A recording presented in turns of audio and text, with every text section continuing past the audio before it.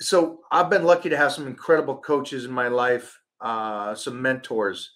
Uh, do you believe uh, it was you coaching yourself or having somebody on the outside help you?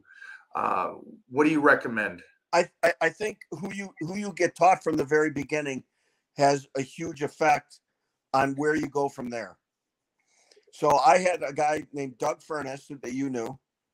Was a great power lifter. He's a football player. Um, he pro wrestled for years, all that. And you got a shot of him. Throw throw a shot up there. Yeah, that's when he was wrestling. That's when he's small. So, um, just for the fans that are out there, just to just to know who this guy was at college, Tennessee. Is that right? Yeah, University of Tennessee. He yeah. was their head fullback when they won the national championship.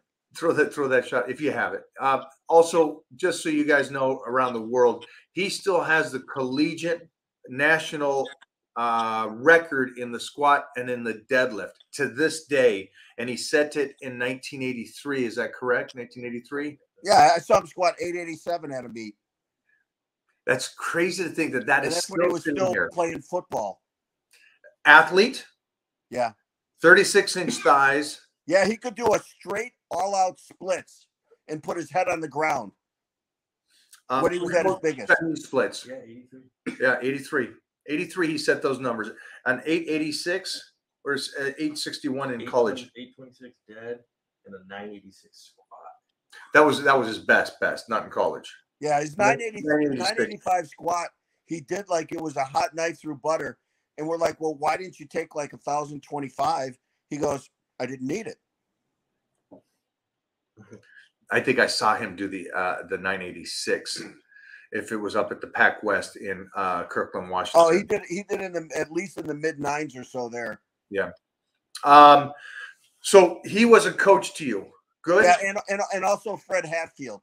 They pretty much told me, kind of taught me the value of uh, programming, and everything else. They actually stepped back and let me learn myself, and I I grew like a weed. I just stuck to my numbers. I was like, you know, an ADD kid that I would sit in the gym and just watch people. I learned more from watching than I did from reading. I don't know if that was a generation thing, um, but for me as well, that was that was a, a thing. Will you throw up the picture of Jeff, Ed, and all of us in up there in the yeah, the Jeff Magruder. At, uh, You looking at Fred Hatfield? Yeah, yeah there you go. So now, that young Furnas is to my right then Fred Hatfield on my other side, then Jeff Magruder, and then Doyle Kenady. Doyle Kenady's the far right. He was the first man ever to deadlift over 900. And just so you fans at home understand this, Jeff Magruder, who's uh, Fred Hatfield, is in the middle, and to the right there uh, is Jeff Magruder, and that was my coach growing up as a young little kid. And these are the guys I got to be around as as a 11 12 13 14 and started my powerlifting. Um, so that's where kind of our our our, our lives uh, you didn't know me then but yeah. I, I, knew of you. Um, but that's where our lives kind of cross paths. And it and it brings me to that what i like is that i was around the greatest as that young young kid and my thought was because I was so young that what they have what they achieved was common. I thought, right? My ceiling, I just set my ceiling that these guys that you just saw the picture of was feasible for anybody. And so now my world was opened up tremendously um, because of the fact that I believed that whatever these guys were doing and they were teaching me, I should be able to achieve. Yeah, it can be done. So why is it that today's society doesn't look that look at that opportunity or or that coaching and go, okay, I'm going to take everything this man knows, apply it to myself, and be even better then. Why why can't they, or at least a percentage of, or or try to, you know, it's like they just look at that nowadays. It seems to me, and go, there's there's not as many qualified coaches I don't think there's as many qualified coaches, or I should say, there's too many unqualified coaches. And in social media, everybody wants it here and now. they forget that they have to put in work for a long period of time. But that that's where it goes from motivation and passion. I mean, do, do you think guys that are multimillionaires, their only ambition was to let me see how much money I can make right away, or that they build a platform to make that money? Uh, on top of that, I always say, do you think these millionaires just go make the million and go, okay, I'm good. I got my million. Yeah, They keep going and keep going and keep going. And I think for you and me, it's like the trophies were great. And the tr- that's all that's great. But we're just going to keep going because we yeah. love I it. didn't do it. We didn't. We didn't do it for. I don't do it. Never did it for the trophy. It's it's my own journey that I made. I enjoy the the process of learning and growing, and it's not just learning and growing in the gym, but look how look how many people we have around the world, and how many people we affect with that, and how much enjoyment we got out of it. Yeah, I think one of the things There's is like Jeff. Jeff Magruder was the guy on the right side there in the photo, and he, he was the when I was 13, 14, getting ready for my first powerlifting meet when I was 14, and and you know he was there and he, he slapped me, get me pumped up to bench press and stuff, and I'm like, I was like, I loved it.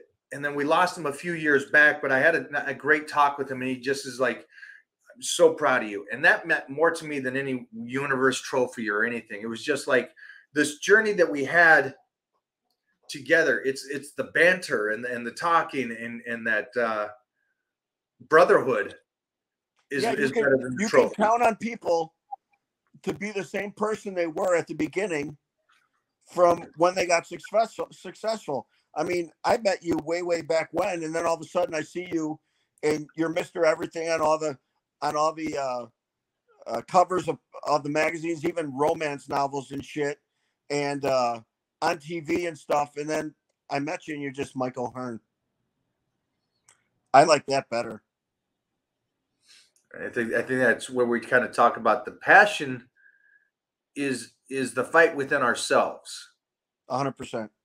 i think motivation kind of gets um i think it gets a bad rap because they they, they think it's a good thing to be motivated because i want to i want to make money i want to be famous i want people to know me and that's kind of motivation in the The bad motivated mo- motivation without passion though doesn't last. I agree. Because the first hiccup, the first time you lose, the first time you They fall out, else. done. Yeah, it's, it's like a kid in a candy store. Yeah. I, just- want this. No, I want this. No, I want this. some. I, I I posted a picture when I was just sliced up off this last uh, training plan, and he goes, "You don't compete, so why do you get that sliced?" And I'm like, "I never competed to get. I mean, I always get sliced. It's me. It's who I am. It's like I never did it just because of the trophy. It, it's it's amazing how you and I think, and how the majority of society thinks. I want to do this because I want to get in shape to get this girl, or I want to look good on the beach, or I want to. It's like everything's outside of them. Very little's inside. Yeah, you know what? Stan, Stan gave me a quote once, and he said he didn't remember if he heard it or if he made it up. And he said there's uh, nothing anybody will be able to do to or for you that'll be better than what you can do to or for yourself. So it has to be through you. Yeah, You, I- you- I can believe you could get, you know, we could get help from uh, the guys that mentored us or, you know, that we cared about that, that taught us a lot, but they took the leash off and let us go. Then we do our own path and everybody we help, there comes a time where I hope I taught them enough to where they don't need me anymore. Where they can all of a sudden send, send me a video and say, look what I did. And I'll be like, fuck yeah, this is great. that's that's a that's a cool process through life. Uh, yeah, you got to it's you know, it's not always about me, me, me, me, me. I may, you know, I may help somebody, but they do it. So I say, you know, this is, you know, they'll say, oh, this is all because he, it's not all because of me. I aided you a little bit, but you did it. This is on you. You did it. So it's okay to pat yourself on the back when you do something really good. for everybody out there watching, I mean, I think that's the great thing about uh, Ed's teaching, and he puts that information out for you guys. Um,